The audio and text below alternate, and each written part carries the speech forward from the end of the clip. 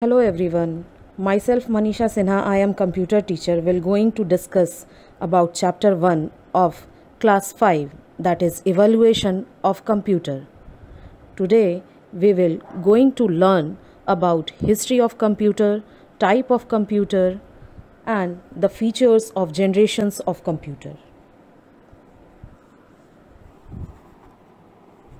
In today's time Computers are used for the various personal and professional tasks. They are versatile and can perform various functions at the same time. The word computer is derived from the word compute, which means to calculate, although the function of the present day computer is not limited to just calculations. History of computers Various devices were invented over a period of time to calculate numbers and equations. Let us look at some of them. Abacus. The invention of abacus, the first counting device, began the journey to the development of computers. It was the first mechanical device used for calculations. It was developed in China. It had beads on a string or rods mounted inside a wooden frame. The abacus did not count itself but helped a person using it to keep a count. It was used for addition, subtraction, multiplication as well as division. Next machine is Pascaline machine that is the Pascal's adding machine, also called as arithmetic machine. The Pascaline was invented by Blaise Pascal in 1642. Pascal developed this machine because he wanted to help his father in collection of taxes. This device had wheels, gears and dials. The device could perform addition or subtraction with numbers entered by manipulating its dials. Next is Napier's bones. Napier's bones was invented by Scottish mathematician and scientist John Napier. This device helps you to multiply numbers. There are nine different bones or strips with numbers on them. It is used to multiply a long number by a single digit number. Next machine is difference engine. A British mathematician Charles Babbage is considered as father of computers. He invented the difference engine in 1822. The difference engine was used to solve mathematical equations called polynomials. It worked by substituting multiplication and division with repeated addition and subtraction. The difference engine consists of a number of columns numbered from 1 to n. The engine is programmed by setting initial values to the columns. Next is analytical engine. The analytical engine was invented by Charles Babbage in 1833. The analytical engine was considered as first general purpose computer. It has five unit called the input, output, store, mill and control.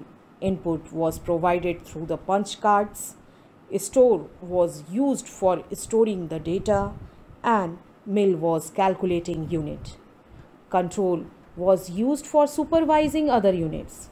This device laid the foundation of the computers that were further developed to the given developed to give us the modern computers.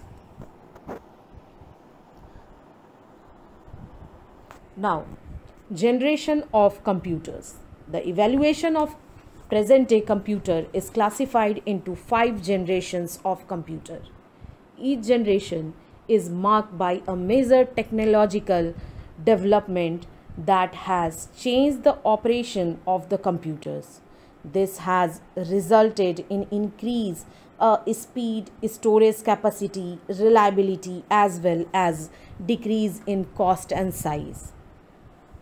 First generation computer 1940 to 1955, second generation 1956 to 1963, third generation 1964 to 1971, fourth generation 1972 to 1980 and the fifth generation is 1980 to present. First generation computer. Let us have a look on its features and examples. In first generation computers, the features, main features are it was built using vacuum tubes, slow operating system, long processing time, produce large amount of heat. The example of first generation computer UNIVAC, ENIAC, EDVAC and the year was 1942 1955. Second generation computer 1956 to 1963. Use of transistors made of silicon comparatively smaller in size with less processing time than first generation of computers. Generated less heat thus less failure.